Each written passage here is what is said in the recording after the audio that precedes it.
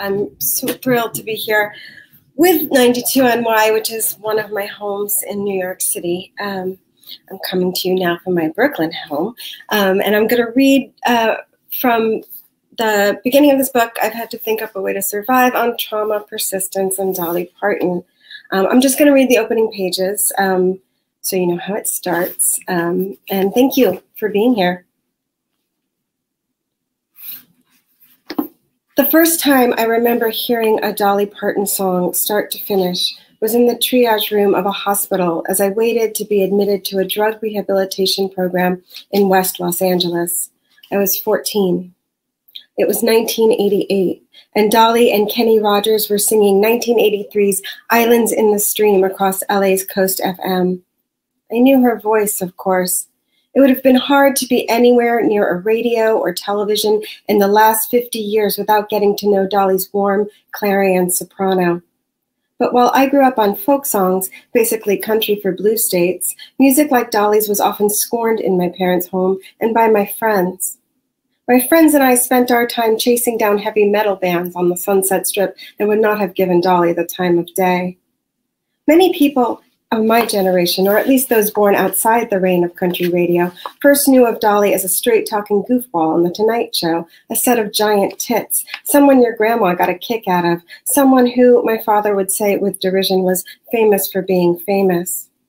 Meanwhile, Dolly had been churning out hits for decades, possessed of a preternatural talent for writing and for singing authentic emotion into every song class, and gender stereotypes could not and would not obscure her absolute genius or stop her from going where she wanted to go.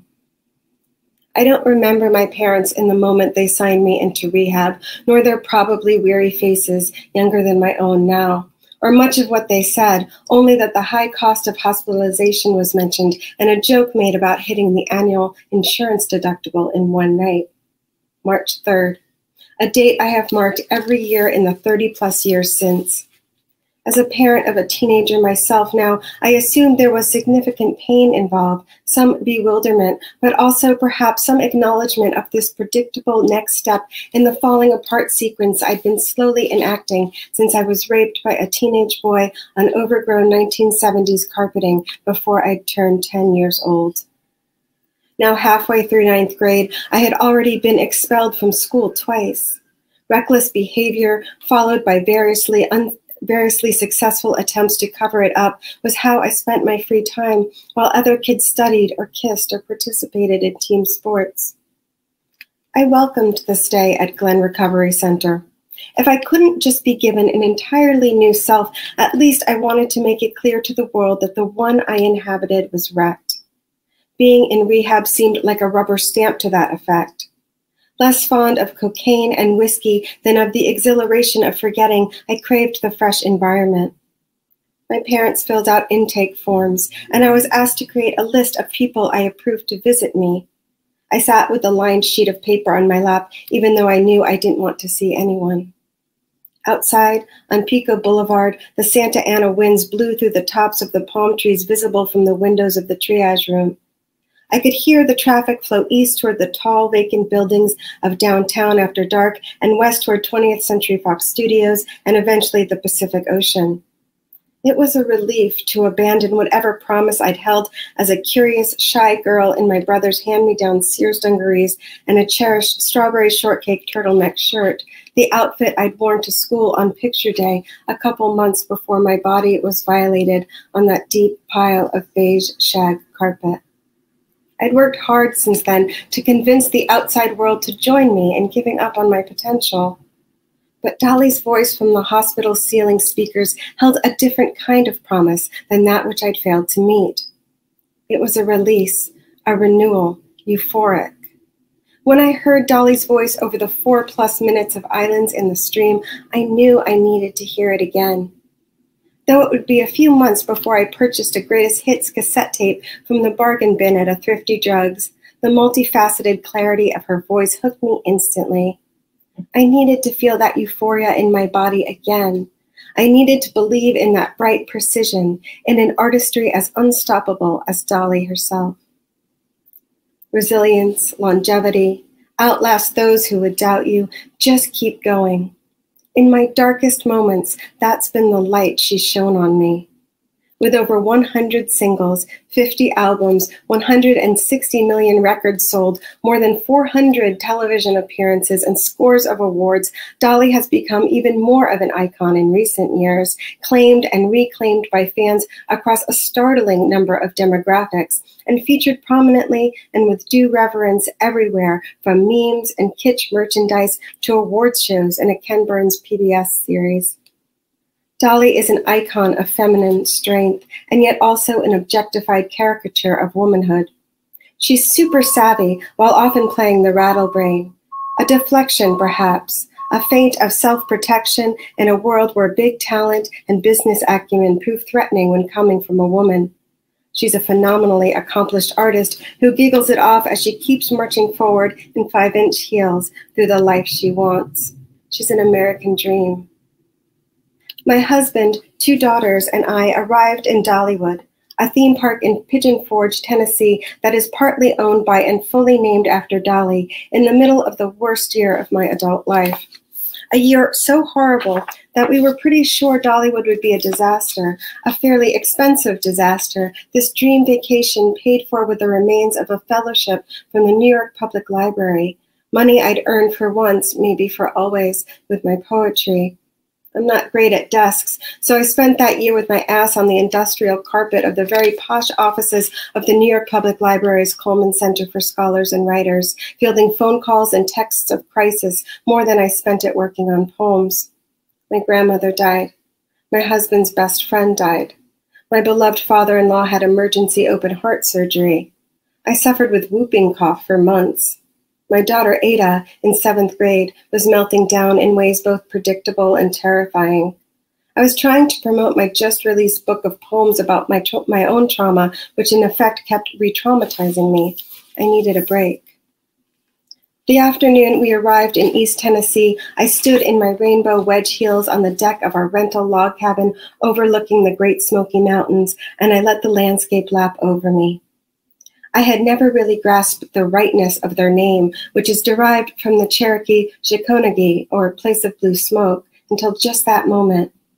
Dense green, hawks soaring toward the sun, then erased by the low, thick clouds that create the illusion of another world, I felt desperate to lose myself in it and to find myself there as well. One of 12 children, Dolly was born in the hills of East Tennessee to Avie Lee and Robert Lee Parton in January of 1946 and grew up in poverty. I grew up the daughter of a college professor and a second grade teacher. My older brother, Cliff, was my only sibling. Now my brother's family and mine were sharing one of the priciest cabins you can rent at Dollywood, High Hopes. How could I learn to be more Dolly like, rising again and again from the embers of expectation? What did it mean to be a 44 year old woman, survivor, mother of two young daughters, a woman with years of missteps and recovery behind me? As a die-hard Dolly fan, what did it mean to have finally made it there?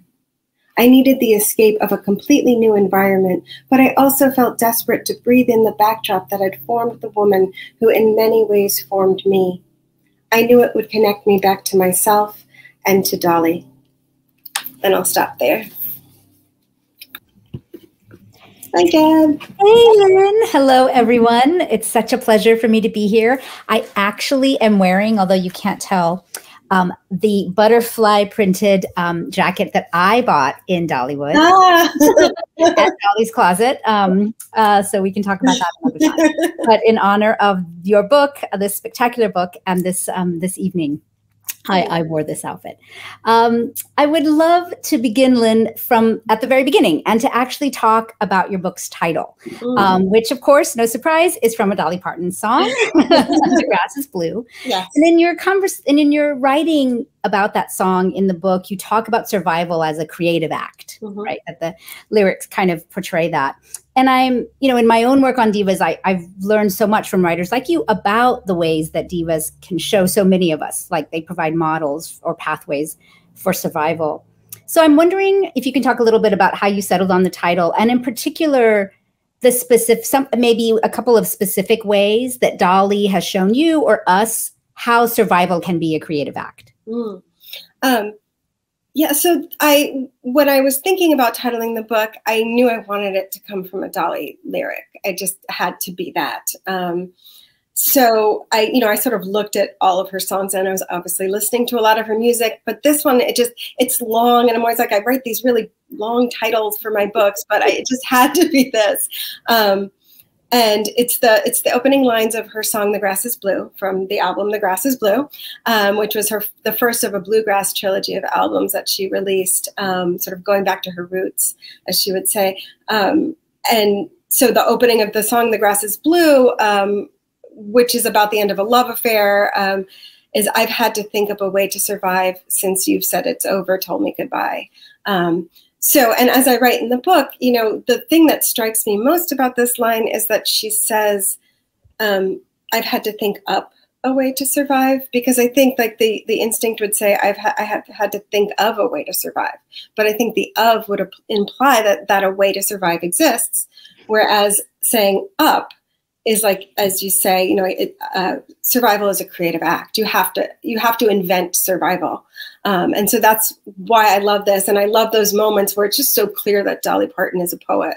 And, like, i mean with each word mattering that much. Um, so i love that's how i that's how i chose this title. Um, I think you know it's been it was interesting uh, when I began the book. I wasn't completely sure where Dolly and I connected. I knew she was this beacon for me and this sort of rescue and that she she you know sung me through some really hard times and some joyous times. And but i wasn't completely sure uh, exactly um, how she has always rescued me. And i think what i realized was that the example that she gives of thinking up all these ways to survive. For example, I mean, this is just one way that she she's done it is, you know, when she wrote this bluegrass album in 1999, her career on mainstream country radio was was non-existent anymore. You know, she barely chart if at all. And she was like, you know what, I'm just gonna go back to my roots and make the album I want to make. And it completely reinvented her career. And and that that was one of her ways. And I think um, every time I have to sort of, you know, figure out how I'm going to pick up the pieces or try the next thing. Um, it's Dolly that I turn to, you know, it, for big things and, and for, for smaller things. I mean, I, I keep laughing that like I wrote the entire book almost through during the pandemic um, and mostly through lockdown. And so, like once again, Dolly comes riding in to rescue me from some. And all of us, right? Yeah, like you know, I I spent the entire uh, you know two years of the first years of the pandemic just thinking about Dolly Parton and listening to her songs. I was like, oh, thanks, Dolly. it's making it a lot more pleasant. Um, so yeah, it's just it's uh, it's continuous with her, and so writing this book really taught me how it was, you know, and, and what she was doing. Um, uh, I don't know. She's just sort of this, always this beacon for me. Yeah. That idea of resiliency and reinvention seems so central to Dolly's or her ability to reinvent, right? Uh, is, I think, so much part of her yeah. resiliency and her longevity. Absolutely. And I, I, you know, she has this quote that is, uh, and I'm paraphrasing, um, I'm sure she states it better, but it's something like, I'm not going to limit myself just because people don't think I can do something else. Yeah. Um, and I had that on my mind a lot when I was moving from poetry to prose. I was like, you know what? Good. Dolly, you know, what, what would Dolly do? Which is, you know, uh, the constant constant mantra that we have.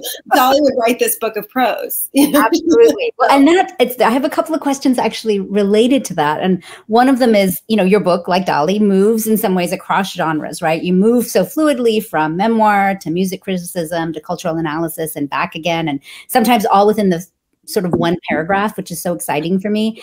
Um, how would you define your book, and what models did you turn to to create it? Um, how would I define it? I mean, it, it took me a long time to figure out what to call it. Um, I mean, I've always just called it my Dolly book, you know, like sort of informally, but that doesn't quite, and I still do, but it doesn't quite cover it. Um, and so then, then I started calling it uh, a book about Dolly Parton, which is also a bit of a memoir. And I was like, no, it's a memoir. That's also a love song to Dolly Parton. yes. Um, and so then now I just call it my memoir just to make it easier. I like, you know, on publicity people. um, but um, yeah, I mean, I think that, you know, there, I feel like there have been, you know, obviously, you know, Hanif's book, um, Go Ahead in the Rain was sort of crucial to my reading. I also read, um, Karen Tongson's um, Why Karen Carpenter Matters, which is another book which is about um, uh, music, uh, you know, a musician, but also a life, and how mm-hmm. much uh, how much our lives intersect with the artists we love. You know, with musicians or any artists we love. Um, and that was really helpful because I saw how she kind of braided things in there. But I think mm-hmm. mostly I just was winging it a lot of the time. it's like, oh, I'm not a prose writer. I'm not a music critic. I'm not a cultural critic. Let's go. just kind of, um, and I just, I think one of the things that poetry teaches you when you move to prose is how to take all of these disparate things yeah. and put them all together in a small space. And I think that's why my paragraphs end up like that because like, no, like it's possible. Yes. It's, it's possible. actually possible. Right. You can take all of these things that are not connected and you just know they are. And if you just keep mm-hmm. writing, you're mm-hmm. going to see how. And, and it was miraculous that way. Like every time I was like, how am I going to connect this story to this thing in my life to what critics are saying? And then they just do because you just write through it. Yeah, there's uh, so many instances where I see a kind of poetic sensibility in the way that you're approaching prose, and um, and I want to get to that a little bit later when we talk about writing more generally. Um, you know, I think that you talk about in the book how, uh, in in many ways, the book follows mostly, though not entirely, the order of the playlist of mm-hmm. Dolly songs that you made years ago, right? And so, one question I have is how and why, when you decided to follow mostly this order but also kind of the question about what like what motivated the choices of ordering when you're making a playlist? Mm. and then how did those motivations change when you're thinking about ordering a book? Yeah that's a good question. So i made this playlist i guess it was 2012 and when I first got on Spotify. and I listen to it all the time. I highly recommend it, everyone. I also have one that I call Dolly Addendum, which is other Dolly songs I love because you can't. She has three thousand songs. You can't yeah. make like a twenty plus uh, long playlist. But I, um, I don't. I don't. You know, my playlist making is sort of like a little frantic as I'm like, I want this song and I want this song and I want this song. And then I kind of tend to order playlists the way I would order a book of poems, you know, like what what follows in an interesting way and gives like new light to this next song, you know, if I start. And so that's how I sort of sort of shaped it. Um, and uh, I, you know, I sort of listened to it like that for years and then I started the book and I thought, I, I'm someone who really thrives with organization. like I just, um, I know this all seems chaotic, but like I'm telling you, like I'm like really hyper organized, and I didn't think that I, I felt like I needed a framework to mm-hmm. really get into things. Like it, it was comforting to me to think, okay, I'll just go song by song and see what each song brings up for me. Um, and and that's what I did. So um, you know, um, Steady as the Rain, you know, was written, was first performed by Dolly's sister, Stella uh, Parton. And so I was like, I can talk about siblings, you know, and it was just sort of this kind of thing. Down from Dover uh, is a song about uh, an unwed uh, mother. And I, oh, I can talk about reproductive justice. You know, there was just sort of those kinds of moments. And it just gave me this very, I found it very comforting to have this framework. And then, um, as I revised it um, with your help, um, I realized um, that, in fact, the order of my playlist and what the chapters became from that playlist weren't serving the book exactly, and that I needed to reorder it. So I sort of took a deep breath and reordered my playlist on Spotify because I wanted them to match because I have this problem. and then I was like, you can do, you can get used to this. Uh, and um, and and then I just sort of switched them around in the same way that I would would order a book of um, poems. You know, laying all the poems out on the yeah. on the table. I did that with the chapters, and I just thought, what chapters go in what order to tell us which things that will inform later things. And as someone who's never written a whole book of prose, it was a real learning curve for me. I mean, I really took me a while because I'm just used to working with smaller numbers of words. so when you did that reordering, was it about like, oh, I need to make sure I've established these relationships early on in the book, or that I need to have a narrative arc even as they're thematic, or is that? Yeah, I mean, it was both. I mean, part of it was um, the the establishing of relationships because I would sort of bring in characters you know, I knew them well. My husband, or do I have like? And you're like, wait, she has a husband? I'm. Yeah, yeah, exactly. I'm like, oh, I have to introduce him. you guys don't all know Timothy. Yeah, right. so, so, you know, I had to think about that as of like somebody else reading it. Um, and then, yeah, I wanted to create an arc, and I wanted the arc to be because I feel like, um, I mean, like Dolly, I'm relentlessly hopeful and optimistic, and I just feel like there is that happily ever after. you know, like it's just how I am.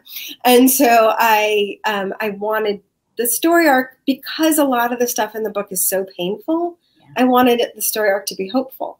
Um, mm-hmm. So I didn't want to, um, you know, I didn't want to uh, like bog the reader down too much. I wanted to sort of intersperse more airy parts with heavier parts um, and remind us that like even uh, amidst all the bad stuff, that hope is there and possible. So that's sort of what I had in mind while I was restructuring it. And it was really good advice.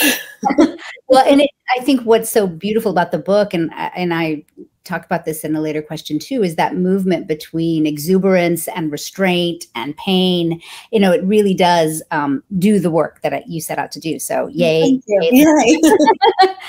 um, you had mentioned you mentioned to me before, and you mentioned earlier this that this was in many ways your first foray into musical mm-hmm. analysis or music criticism, right? You were sort of learning as you were going. Yeah.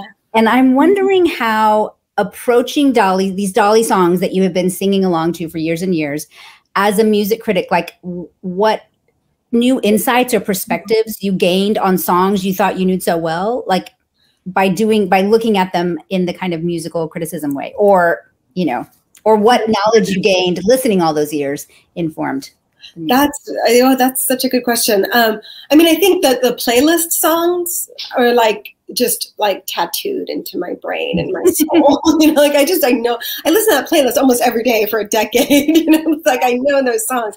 Um, so you know that was good to have. Um, just sort of, I didn't realize how much I'd been thinking about them until I started mm. writing about them because. Um, you know, I just, I mean, you know, you listen to your favorite songs and you move on. You don't think about what they're, you know, what they're actually doing or the construction of them like in, in a really present level, but I, I had been, I realized.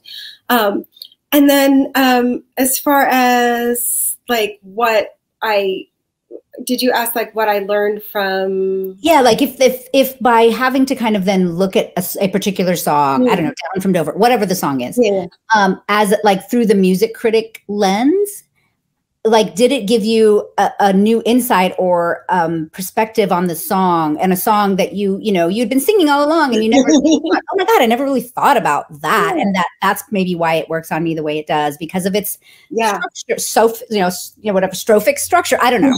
To say. Yeah absolutely. I mean i read uh, i was very lucky because um, uh, the Lydia Hamessley uh, um, wrote a book called Unlikely Angel, which was the songs of Dolly Parton, and she's a musicologist. And um, so I'm like, I'm, I mean, I have to admit, a lot of like the musicology terms, it's a very academic book, was a little bit over my head, but like it's over those uh, of our heads who are academics but not musicologists. So right? Yeah, I mean, it's just like it's real. It's like it's like math almost, yeah. um, and very fascinating. But it really I think what I learned, um, you know, reading books like that, thinking about how she constructs her songs and what the construction of the lyrics and the music is doing and how she performs it, it's also intentional. And it just solidified my belief that Dolly is like the most overlooked songwriter of uh, yeah, American yeah. music because she's written so many songs and she is so brilliant at it. And if she had perhaps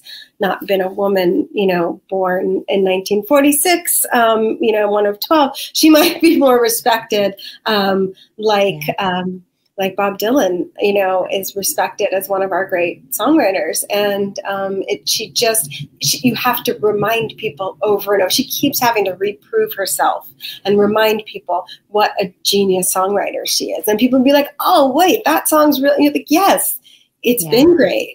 like it's, it's all these years. Yeah. yeah. yeah. I think that's where your, and also your attentiveness to that as a poet really comes yeah. through in the book you know yeah yeah you feel that like as a poet when you like dive deep into lyrics and you might know this having written so much about music you're like whoa you know like this is really, I mean, she's got like internal rhymes in her songs. I know um, so many. Yeah, they're just like astonishing. like I want to be that good. Yeah, it's, it's, I know on a and, Tuesday. Yeah.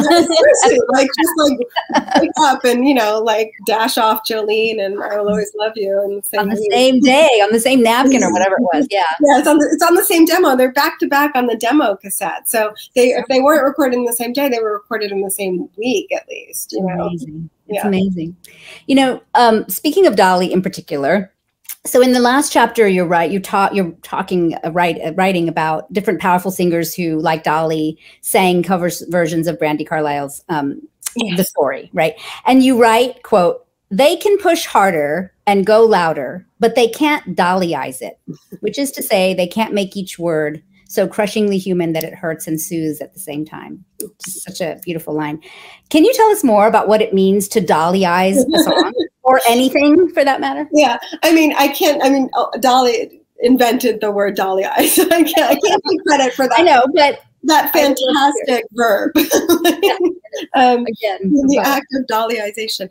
Um, but I, I think that you know in thinking about that song, so you know, like big belty singers have covered, like LeAnn Rimes, I think, did right, and Kelly Clarkson. Yeah, mm-hmm. Kelly Clarkson. Like, you know, they've got these voices, and and they have emotion in their voices. But Dolly has a big belty voice that she also knows when to pull back, and it's so vulnerable, but so sure of itself. You know, its heart mm-hmm. is so open, and she. um you know, she is feeling what she's singing. Um, she's not feeling the the big beltiness of it. You know, it's not. It's not. A, it's almost not a performance. You know, it's an embodiment of the song. Um, of course, when she said she was going to dollyize this song, she also meant that she was going to sort of take it even higher than what Brandi Carlile, who has an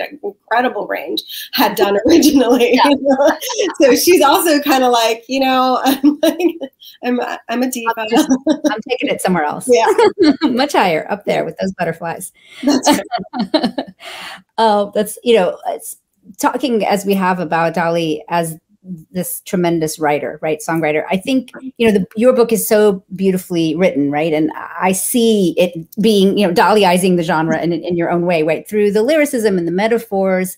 And as I said earlier, your ability to kind of move from exuberance to restraint, sort of like you just described Dolly doing. Mm and you know i'm i mean there's different moments i can point to. We were talking before we started about this amazing moment on page 161 i don't want to give it away to our readers but you do this beautiful thing in a paragraph where you're sort of you change from you know you change you move from like statistics to cultural analysis to a story about yourself but then not. And then it's it's just amazing.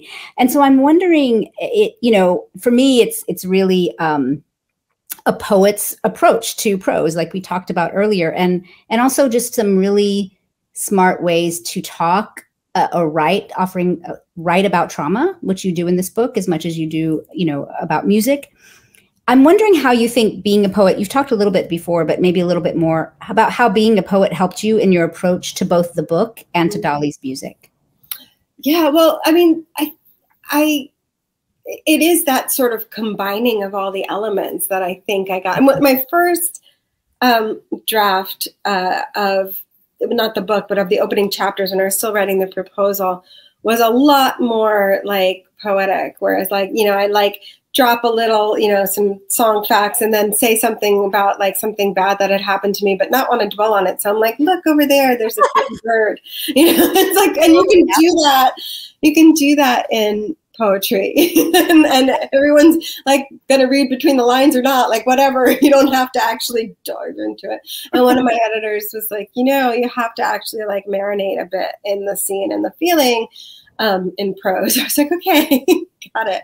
Um, so i kind of tried to combine like the, the way that you do have to stay in the moment i think a little more when you're when you're telling a story which makes sense. Um, but then I also just had so many years of experience of writing poetry that I knew I just had this just I think this instinct that I could connect all these things and I could go from thing to thing to thing and then keep coming back and it would eventually build to a larger um, a larger whole that all cohered. I just it was a gut feeling that that paid off.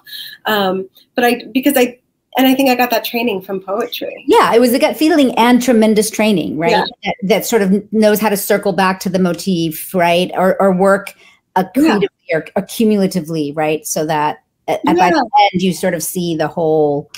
Right, and also revising. Like I think, all, like I just love to revise. It's my it's my favorite pastime. Um, and you know the act of revising so that all of your parts you can you can switch their order so that they all cohere is just really it's fun.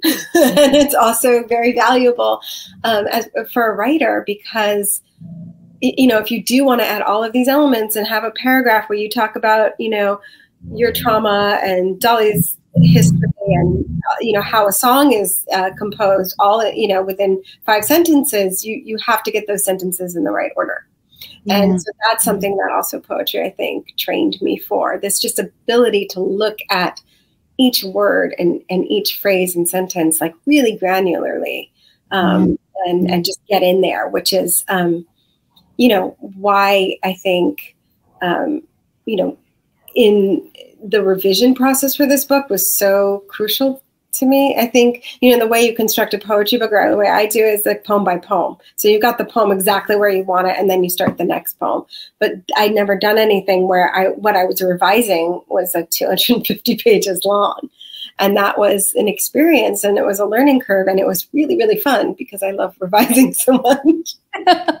well, but I mean, I think it shows like the book to me is really the love song to the act of writing and the power that and and, and its relationship to survival right? Like i mm-hmm. think both both your own practice but also dolly as the songwriter that you know thinks up a way to survive literally but just with that mm-hmm. phrase. You know you you have this wonderful moment at, towards the end where you talk where you're talking about that moment you mentioned earlier where your earphones on and dolly's piping through and you're in the lockdown and everybody's on Zoom and everyone's in the apartment. So you go to the, you're sitting on the floor of the hallway and you use that moment to also interweave it with the story of Dolly saying like, I can write anywhere. I can, up, you know, wherever I am, I can write, which is true about Dolly. Yes. But, you know, as a way to show this connection, but it was also a way of showing, um, this this the how writing and and you know telling the stories right has gotten you as you say gotten you through through trauma and the writing about Dolly got you through mm. another trauma, right? Yes. so I'm wondering if you can talk a little bit about how you see the book maybe as an ode to Dolly as the songwriter or writing more generally, and how that also relates to writing about trauma per se. Yeah. I mean, uh, just quickly, I'll say that she wrote her the coat of many colors, the song on a dry cleaning receipt. So she can she can write anywhere yeah. on anything. You know, like she, so beautifully not precious. It's such an and and of course the dry cleaning receipt is now in the, the museum at Dollywood, if in case anybody wants to go look for it. Um, so I think uh, to me the story is about um, you know how we get through and how writing um, has been something that I think has gotten both me and Dolly through hard times. Um, writing as one way of storytelling. And I think, um, you know, the more I wrote, the more, because I was telling, you know, I've written a, a lot about my own stories in my poems before, um, but you know, the poems they're they're a little bit more, uh, they're not quite as straightforward. There's always the speaker, you know, it's not necessarily autobiographical graphical you know there's all that like you know you're going to commit to writing a memoir you're like oh shit you know this is true. yeah. It actually happened. okay. um, so that was a little nerve-wracking for me but the idea of being able to free oneself by truth telling and by storytelling um, felt very compelling and really great to me and really very much like a relief. Um, and i started to think about how you know that's what storytelling does. And and that's what dolly is gives to people i think this this sort of opening in which to, to that reflects their own lives that they can then sort of live their own truths um, you know like sort of reflected back in her light i think um, which you know sounds very grand but i think dolly would agree with me about that. What do you think are some of your favorite dolly uh, lyrics well, certainly. certainly that certainly I've had to think of a way to survive. My my my uh, very favorite uh, uh, internal rhyme of hers is from Wildflowers, uh, which is um, the hills were alive with wildflowers, and I was as wild, even wilder than they. Like that's a poem. that's a freaking absolutely poem. a poem. That that internal rhyme. Yeah, it's just so beautiful. I just I love that. I um uh there's a there's a line um in um steady as the rain where she's it's it's you know, it's, it's uh, one of these end of a love affair songs. Um, she has this line, uh, once you lived for rolling me and then your feelings change. And what I love about that lyric is that like Dolly's like always a little horny. so, like, yes.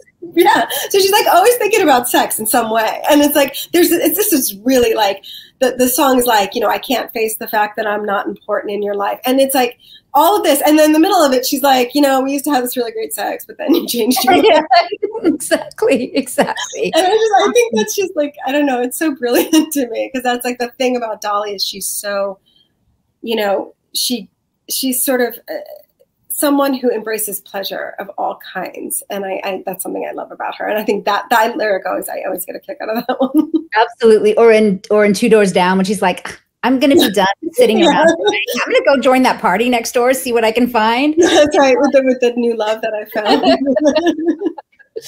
You know, it, it's it's speaking about Dolly and pleasure, and I, I think maybe you've answered actually the uh, question I was going to ask is early on, from a little bit later in the introduction, I think, it, or maybe in the first chapter, I can't remember where. You you write you have this wonderful paragraph talking about Dolly, and you say, well, what if she's using rape culture against its own damn self, right? And I'm wondering if you could talk a little bit about how she does that to you, like what that yeah. even means to use rape culture against itself and how specifically. Yeah, I mean, I'm just sort of like to quickly define the idea of rape culture. Yes. It's just, you know, it, it's a, it's a, like, it's a set of, um, sort of practices uh, where whereby like the, the language we use um, sort of encourages violence against women um, you know things like calling like a hollywood um, you know mogul being taken down for violence against women a sex scandal you know it's this idea of like boys will be boys um, you know things like complimenting you know women you're supposed to take um, street harassment as a compliment after a certain age because you still got it. It's like all of that is rape culture. It's a culture that encourages this kind of behavior towards women. Um, and Dolly is so keenly aware of double standards and of sexism. And um, she's also just sort of learned to, she puts on this costume of the, the woman who's, quote, asking for it, right? Like she modeled her look on the town sex worker. Like that's she she said that in many many interviews. Um, she she's assumed this look of a woman who, um, you know, she would she would use the word trash. I would say someone who who has been discarded because of her look, and she has taken that on as an armor um, and as a, a vision of success. And she's you know and it's it's almost like it's protected her because you can't say anything about her she hasn't already said about herself you know, it's like she's just uh, she's already she's already claimed it. So you know, it's like she says to Barbara Walters in that terrible interview, uh, which you should all look up on YouTube. Yeah. Um, uh, you know, Barbara Walters asks her if she thinks she, uh, you know, if she's a joke, and if people think she's a joke, and she says, you know, you know, people that you think the joke's on me, but it's really on them because I know who I am as a person, and I'm I'm happy with who I am, and I think that's what she's done. You know, she's just sort of. Um, created a, a persona and an armor for herself, um, sort of by twisting around the expectations for what a woman who appears like that can be. And then she's gone on to basically rule the world in that in that armor. Yeah. Yeah. Yeah. It's fascinating to me. It is fascinating it, it is it's it is it is tremendous and and so much ahead of her time in some ways right we've talked before in yeah. terms of like what a feminist icon whether she adopts that word or not or i guess more lately she has uh you know what that could mean um, yeah i mean she she only the, the first time I, I heard her identify as a feminist was in 2020 in an, an interview uh, when she was one of time magazine's people of the year before that she would say things like well you know i'm feminine yeah i remember yeah and it was a little frustrating. Um, I, you know, she she has often been politically neutral, not always, but often, um, because her songs are so damn feminist. You know, I mean, she's got like "Just Because I'm a Woman" is a song about the double standard, where basically it was inspired by her husband asking her after they'd been married if she'd ever had sex before, and she's she told him the truth, and then he got really upset. she was like, "Wait a minute." like, so something's not adding up here. You know and even writing songs about um, unwed mothers who are um, not always judged for that by mm-hmm. every character in the song is pretty feminist. You know she her mm-hmm. songs were real responses to things that she grew up around. And she grew up you know you know in her town basically the women just got married and you know started families right out of high school. And she saw all kinds of terrible things that they had to endure. And she wrote against that. And that's her that was her that's her activism really. You know this sort of very steady uh, feminist activism through her songs for you know decades now. Absolutely. You know you you speak that moment when you say yeah that was frustrating. I remember being frustrated in moments as well. And there's another moment in the book where you talk about like dolly is is simultaneously like what we wish to be you know and yes. also what we are in our failings and I'm wondering if you can talk a little bit more about that. Like, what were the moment? What are the moments where Dolly might disappoint or show us how we can yeah. be fallible, or you know, things like that for you? Yeah, I mean, there have been. You know, I mean, she's 76 years old and she's been in the public eye since um, about the early 60s. You know, no one is gonna. There's there's no. You don't get through life without making mistakes. And and the thing about Dolly is she's one of the most willing to learn people that like I've read about. You know, I'm thinking she had for many years this dinner theater attraction called Dolly's Dixie Stampede, um, which is like uh, I guess uh, medieval times, but with like the North versus the South. like some dinner that were really strangely conceived. Um, she really did not know that this would be upsetting to people you know? And she you know for whatever reason like she just never reached her that that would not be comfortable for a lot of people. Um, and then when she, when she was made aware of it she changed it to dolly stampede. And you know people asked um, people asked um, like why did you change it? And she could have you know hemmed and hawed but she said you know if I'm upsetting people, like as a person, a musician, and a businesswoman, I don't want to do that. And so she's just sort of like she takes her mistakes and she just, you know, grows and and does better as she knows better. And I think that's something extremely admirable. And she will she will apologize sincerely when she's misstepped which I think is all we can hope for ourselves and others. Well, and I think is is hugely important in recent years, right? Because of I think a larger culture of um, lack of accountability. You know, I say all the time, like the reason Ted Lasso, the show, is so popular is because everyone's always apologizing sincerely in it. And we're like starved for that kind of genuine accountability, you know, that's not in larger culture, especially among certain populations. yeah people. So I think that that says something. I think that's something that we, you know, are yeah. for perhaps now. And I think that's because I like there's a there's a there was a moment where she had given an interview and she had she was going to do this TV show, but it got canceled and she she said something which was basically suggesting that Jewish people um, have power, all the power in Hollywood, mm-hmm. which is you know a, a, constant stereotype. And you know, as a Jewish person, I was like, oh. But uh, um, she did apologize. She said, I didn't mean to, you know, suggest that that you know I have been on the receiving end of harmful stereotypes, and I certainly feel bad that I did this to somebody else you know, and I understand it was a mistake. What more can you ask for? You know, like what more could she have done? And it was so sincere. Right. Absolutely. And that's what we want for ourselves, of course. Yeah, right? exactly. And then be, you know, that's right. I like to think that I could apologize for my missteps and be forgiven as well. God knows there's many, many mistakes I've made.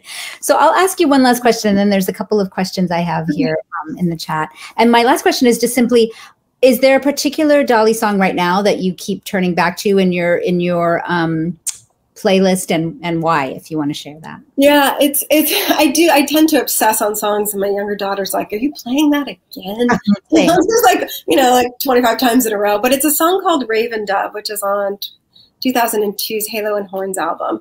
Um, and it is an extremely religious Christian song. And I am extremely Jewish. we um, listen to this song, and you know, it, it the absolute joy that she finds in this idea. The song is about how there will come a day when you know God will come back, and you know our loved, our, our, you know our, our loved ones who have passed will rise up, and it's all it's very Christian and it's extremely joyous. And I cannot get to the end of that song without crying. So I'll play it 25 times in a row, and I'm just crying. Oh my God, but it's actually like enjoyable for me. Yeah. Um, We're such poets. I totally understand that feeling. That's fantastic. So there's a couple of questions here. One of them, um, it says, okay, this I this I think this is from from Ricky. Lynn, the book uh, okay, let's see. The book of your life is now part of the book of Dolly, her archives, her lore. How does it feel to live in that shelf now? Well, I last was it last summer I took a picture of all of the Dolly books that had come before mine, of which there are a lot. Yeah. And I, and I was like, I just want to like I need to retake it and put mine at the top, like the newest, the newest entry into you know the, the Dollyverse. Um, I feel you know I feel really so good that my book can be part of this because I you know I've obviously loved and devoured every one of the you know books that have um, come out about Dolly, but this one really um, celebrates her as a as a songwriter mm-hmm. so heavily that I'm happy that if I can give that to people and to uh, uh, to Dolly, that I, I'm so happy to be able to give that gift and. Um, since the book has come out, people keep messaging me and saying, "Oh, I, I, discovered this song," or "I I hadn't really listened to Dolly in this way before," and you know that I think has been I, I for whatever reason I hadn't anticipated that, and it's so fantastic. You know, like which ones are your favorites? You know, which ones did you um, seek out? It's so it's so wonderful. So if I can contribute to you know some more downloads for Dolly, um, yeah. I mean, absolutely. I feel like this week for me is light of a clear blue morning because I needed something to like get me through. And mm-hmm. my mom, and I just texted my mom earlier today. I'm like, listen to this song. And she's like, How did you know I was sad today? How did you know I needed this song today? And I'm like, Yeah, uh, you know, some days. Uh, yeah. I get it. That was um, one of um, my songs on repeat Pete, right after the election in 2020. like, yes. I bet that's exactly right. that was a perfect time to play it. Um, so another question: What if Dolly is listening to this? Is the question. Anything you want to share? I guess. um, I it, it's so the idea people that's one of the most common questions that i get is um, like have you met her? or like what would you do if you met her? Um, mm-hmm. i don't know. Like to me it's a very strange thing and maybe you feel this having written about divas like i feel like we're best friends. So dolly if you're listening we're best friends. Yes. Um, but i also don't i mean i would love of course to meet her but i don't feel the lack of not meeting her because I yeah. feel like we all we are all Dolly's best friend, you know, and like and she's just with me all the time. Um, but I mean, I do hope, you know, as I said in in my acknowledgments, I thank Dolly for you know giving me um, you know all these songs and and also these wings. Like I feel like she equips her mm-hmm. her fans and her listeners with wings to soar. Um, and I, that's so if she's listening, I, that's that's what I would like to thank her for. Absolutely. You know, you really speak to and, and the way that you use that sort of metaphor throughout when talking about Little Sparrow and the eagles in in Light of a Clear Blue Morning is it's really beautiful. And I think you really touch on what I, I find often with divas is like one, they make you feel like you're their your best, you're their closest and most, you know, ardent fan. Yes and they also i think you know there's something about so that so that in the end meeting them or not is not really the point because right. they sustaining you in this way that both is deeply feels deeply intimate even yeah. as they're like such the far away unattainable star. Yeah. And I think Dolly in particular, I think it's interesting. I, I was in my divas class, which you visited um, yes. recently, so thank you.